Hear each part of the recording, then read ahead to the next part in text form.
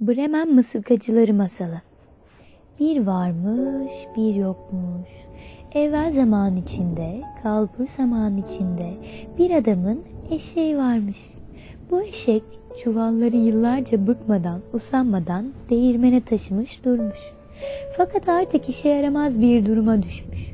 Sahibi onu boş yere beslemek istememiş. Eşek de bu durumu anlamış ve başını alıp gitmiş. Bremen yolunu tutmuş. Orada çalgıcı olabilir zannediyormuş. Eşek yolda yatan bir av köpeğiyle karşılaşmış. Eşek köpeğe sormuş. Ne söyleyip duruyorsun? Köpek cevap vermiş. Hav hav ben bir av köpeğiyim. Sorma yaşlandım. Avda koşamıyorum diye sahibim beni öldürmek istedi. Ben de kaçıp kurtuldum. Bundan sonra karnımı nasıl doyuracağım bilmiyorum. Eşek köpeğe Sana bir şey söyleyeyim mi? demiş. Ben Bremen'e gidiyorum.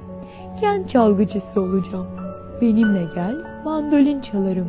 Sen de davul çalarsın. Bu öneri köpeğin hoşuna gitmiş. Yola çıkmışlar. Giderken yolun kenarında bir kediye rastlamışlar. Kedinin suratından düşen bin parçaymış. Eşek Ne oldu yaşlı pala bıyık? demiş. Kedi. Artık yaşım ilerledi. Farelerin peşinden koşacağıma sobanın arkasında oturup pinekliyorum. Bu yüzden hanımım beni sokağa atmak istedi. Ben de kaçıp kurtuldum. Şimdi nereye gideyim? Miau. Eşek Bizimle birlikte gel. Kente varınca kent mızıkacısı olursun. Kedi hoş karşılayıp yola çıkmışlar. Bir çiftliğin önünden geçerken ciyak ciyak bir horoz görmüşler. Eşek Çoktan sabah oldu. Sen niye hala bağırıyorsun? Horoz.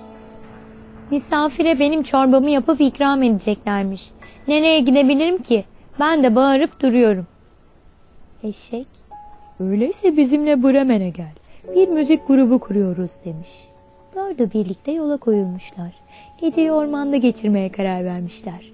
Horoz bulunduğu yüksek yerden etrafa bakmış ve İleride bir ışık ve ev görüyorum. Hemen oraya gidelim. Bunun üzerine ışığa doğru yola koyulmuşlar. Bir eve gelmişler. İçlerinde en uzun eşek olduğundan yaklaşıp içeri bakmış. Diğerleri sormuşlar. Ne görüyorsun eşek? Ne mi görüyorum? Çok şahane bir sofra ve üzerinde çok güzel yiyecekler var. Diğerleri hemen içeri girmek istemişler. Fakat eşek Durun. Bu masanın etrafında dört tane silahlı haydut var. Diğerleri ormana dönmek yerine haydutları kaçırmak için plan yapmışlar.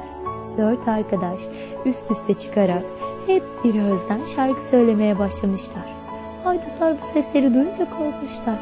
Dört arkadaş pencereden içeriye dalmış, haydutların silahlarını bile almadan ormana kaçmaya başlamış. Dört arkadaş planları yolunda gittiğinden dolayı çok sevinip masadaki nefis yemekleri yemişler. Yemeği yedikten sonra evin ışıklarını söndürmüşler ve uykuya dalmışlar. Vakit gece yarısı olmuş, haydutlar evde ışıkların söndüğünü görüp bakmak için dalmışlar.